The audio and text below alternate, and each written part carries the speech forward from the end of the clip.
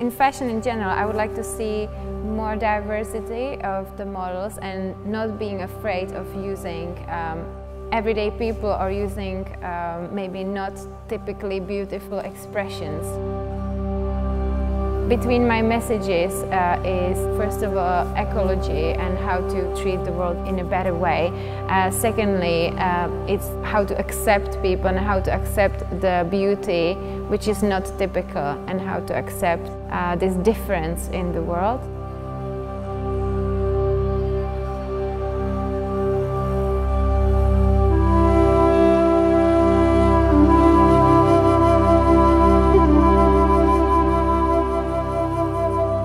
We are doing Vision China magazine editorial today uh, and it's inspired by Hanafuda cards, which is uh, a Japanese card game uh, full of uh, beautiful um, kind of calligraphy and paintings uh, which are referring to uh, every month of the year. I was really excited to work with Vision China. Um, so that was uh, one of my dream publications. I love how they're like mixing fashion and art together and that's something I'm really drawn uh, to because I always like to balance between art and fashion in my work. For models, I really love to work with people who are kind of aware of their body and who, who can move very well.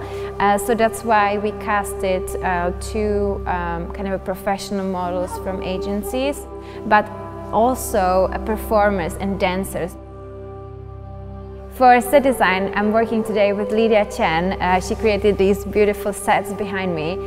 She took this Hanafuda cards inspiration and she really made it alive. Uh, then we have Wilona um, doing the styling. Uh, she's been working with me uh, previously and uh, I thought that her approach is really good uh, for this editorial. Uh, then we have the makeup artist Lynski, which I found on Instagram and I was just immediately drawn to her work because it's really creative. She uses lots of colors, lots of textures and she also um, you know, works quite a lot with the body painting. And for the hairstylist, uh, we worked with Masa, and he worked with Vision China magazine before, uh, so I thought it's quite nice uh, to bring him back. I'm always drawn to fantasy worlds, uh, into some kind of a, a new, dreamy, uh, and sometimes even futuristic worlds, and that's something which I wanted to implement even today. Hanafuda cards are so graphical, so um, illustrative, full of color.